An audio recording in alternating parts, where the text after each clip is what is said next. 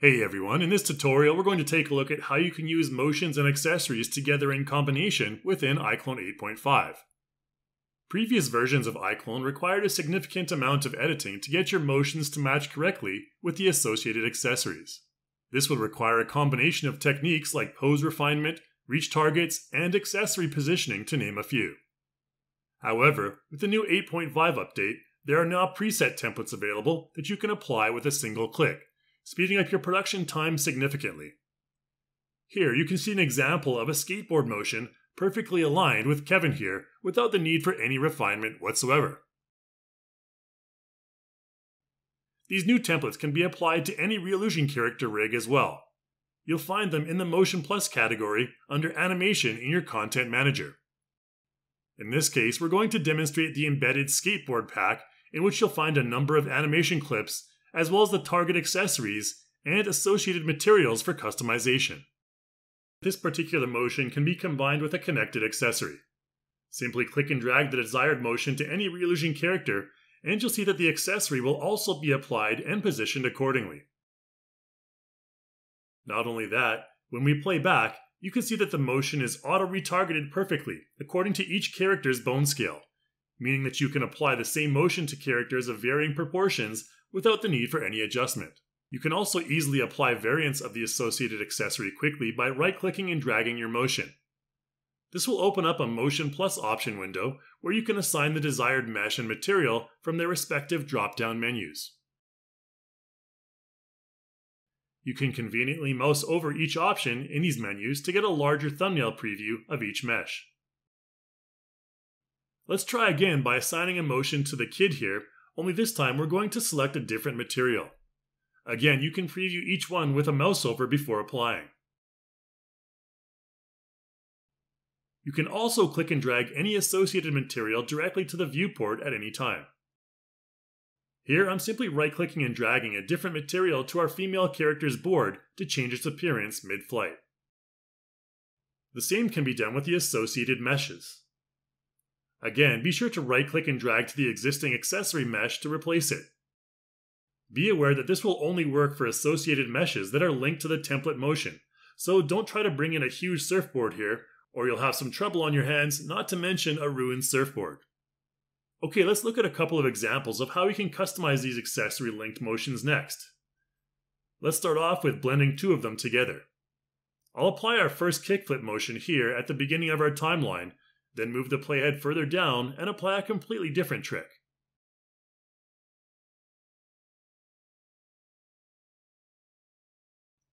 Next, I'm going to cut out the lead time of the second clip before the actual trick, so the two are closer together by breaking the clip and deleting the first part.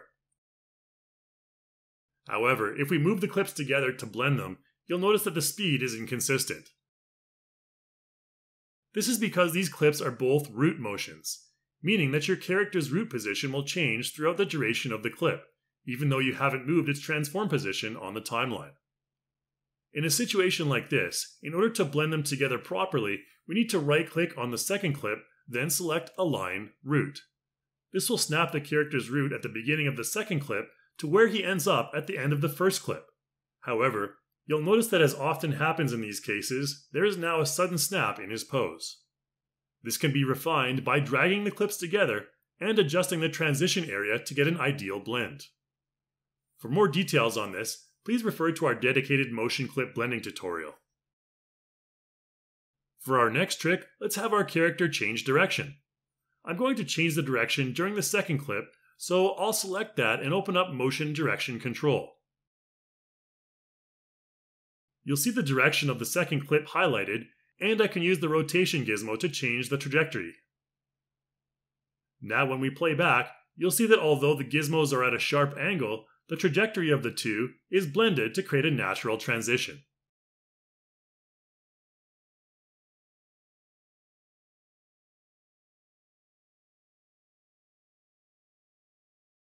Now some motions may not have ideal blending results due to the position of the linked accessory. In this case, our first motion has the board flipping its direction 180 degrees during the clip.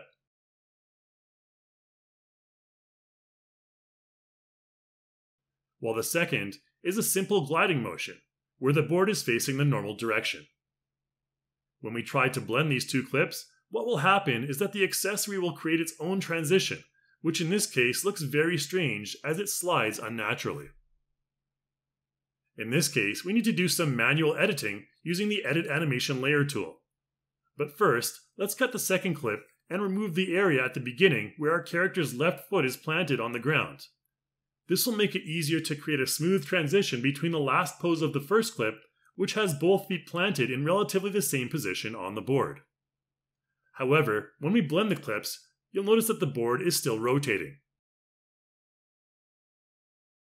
To fix this, I need to go to the first frame of the second clip and manually adjust the board's rotation using the Edit Animation Layer tool.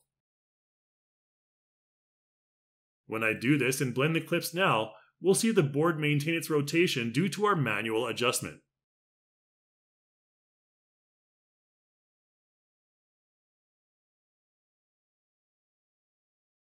Finally, let's look at how we can send our character along a predetermined path using the Path tool. First, we need to apply a motion to our character. It doesn't matter where he is at this point because we're going to attach him to a path.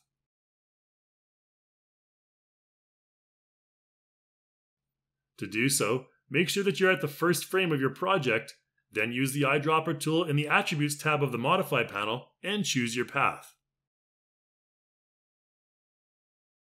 When constrained to a path, the path will override the root motion change, so our character will remain stationary. To get your character to follow the path, set the path position slider at frame 1 to 0%.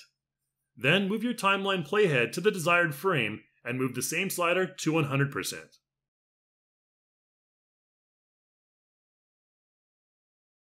This will move your character along the path, but its rotation still needs to be refined. You can try to fix this by changing the position of the final path point but this is not recommended, and normally you want to keep your path fixed. So with our character selected, let's go back to the Path section of the Attributes tab and click on Follow Path. You can press the W hotkey twice to display the local axis for your character. We want the leading direction to be the opposite of the green Y axis, so let's choose negative Y from the Follow dropdown, which will snap our character and accessory into the proper position. To adjust the timing of your character's speed along the path, select it and edit the beginning and end points to change the speed progression. This is a good way to tweak moving motions to avoid the look of sliding or unnatural movement pace. Finally, you can use the Edit Motion Layer tool to set keys and change your character's pose to add further dynamic detail to the motion to make it appear more energetic please check out our dedicated tutorial for more info on the Edit Motion Layer tool for motion modification. That's it for this tutorial, guys. Thanks for watching, and I'll see you in the next one.